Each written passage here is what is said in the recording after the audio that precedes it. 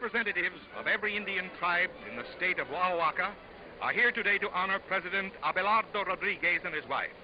The fete is known as Huehuetzah, an old Indian word meaning gifts and presents, and it signifies the president has the undying homage of the Oaxacans.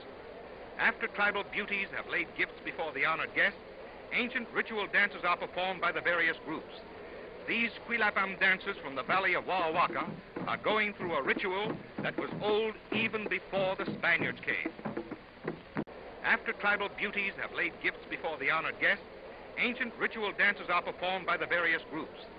These Cuilapam dancers from the valley of Oaxaca are going through a ritual that was old even before the Spaniards.